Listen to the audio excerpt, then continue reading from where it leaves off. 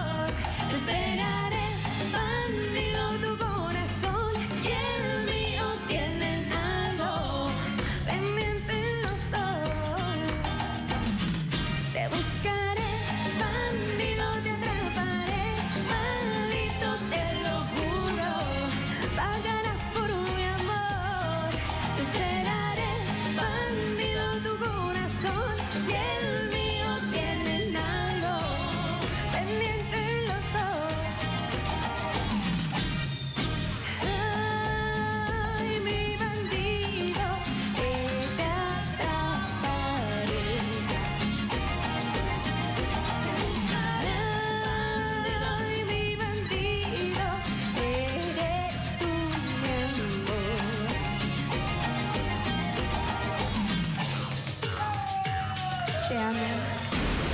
Fuerte el aplauso para Fabi. Véngase por acá, Fabi. Me muero por saber qué va a decir el jurado de su primera presentación. Vamos a comenzar con Fernando. Bueno, bienvenida Fabi, buenas noches. Buenas noches. Eh, te sentí un poco nerviosa, bueno, es obvio porque es la, la primera presentación, pero tenés que ser arriesgada. Dale, eh, yo creo que la cumbia es fuerza, la cumbia es para disfrutarla y yo creo que tenés que soltarte más, tenés que soltarte, he escuchado desafinaciones también en las terminaciones. En las terminaciones yo creo que es donde tenés que asegurarte bien. ¿sí? Hay que asegurar un poco más las terminaciones, pero para hacer la primera, vamos con fuerza. Vamos a escuchar la devolución de Daniel Pese. Eh, Fabi, buenas noches. Sí, tuviste eh, algunos problemas de afinación que sobre todo en, en- en los coros se notaba más y eso es porque evidentemente no tenés mucho apoyo todavía, no hay estudio, en consecuencia no podés apoyar mucho con, con el aire. Eh, te colocaste mal, entonces eso hacía que, que suene muy, eh, muy extraño. Eh, para hacer una primera participación, por supuesto, no es dramático, pero sí hay que tomarlo muy en cuenta el tema de la afinación porque, eh, bueno, se escucha bastante mal. Para mí, eh, quiero agregar una cosita. Para mí sí es dramático. Eh, porque si bien esta temporada eh, teníamos, digamos, la esperanza y, hicimos un gran casting con mucho talento y yo te escuché cantar y la verdad que lamento que te haya ido así. Porque la primera vez que te escucha Bolivia eh, no estuvo buena. Entonces, y no sabemos si hay otra oportunidad. Así que traten de salir concentrados, eh, dejen el show, para todos les digo, dejen el show, concéntrense en la canción, ya va a venir. No hace falta hoy que salgan y digan, eh, saluden a la gente, tranquilo, paso a paso, porque tal vez por ir rápido se quedan afuera antes de lo que corresponde. Entonces, calma. Fabi, críticas muy duras del jurado. ¿Qué puedes decir?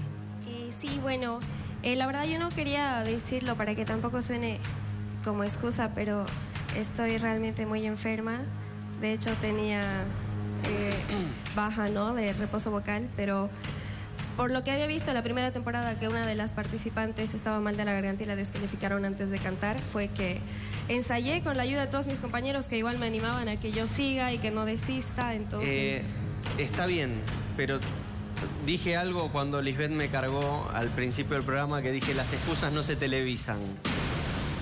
No importa. La gente, o sea, cuando uno está mal de la garganta puede cantar feo, sonar eh, feo, pero el, el- problema de afinación por lo general no tiene que ver con una eh, patología, es una cuestión de concentración, de oído, emocional, pero vos estás con catarro, no podés llegar a la nota, pero eso no te va a hacer que lo cantes desafinado, ¿se entiende?